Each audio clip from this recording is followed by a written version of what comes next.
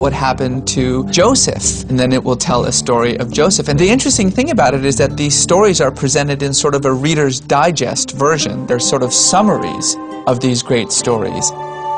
The audience that the Quran was revealed to was already familiar with these stories because they were living in a city that was steeped in these traditions. According to Muslims, one of the most remarkable aspects of the Quran is that Muhammad memorized the revelations as they came to him and then recited them verbatim to his followers.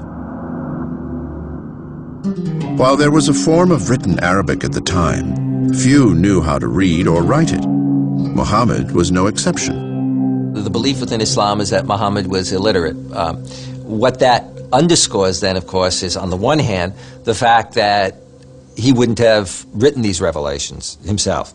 Uh, on the other hand, the question is, well, how are they preserved? Muhammad's small band of followers would promptly commit to memory each new revelation they heard, adding verse after verse to a mental collection of the already existing Quran. Given the culture that they were living in, such feats of memory are not surprising. The societies that we are talking about are oral cultures.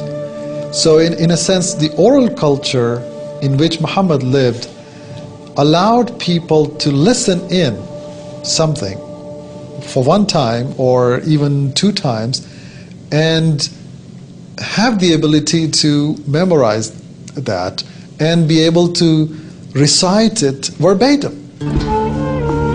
As his catalog of revelations grew, Muhammad continued to preach on the streets of Mecca, gaining a small group of converts. His followers came to be known as Muslims, which means those who submit to God. Muhammad's message appealed especially to the city's poor and underprivileged, who heard their own lives echoed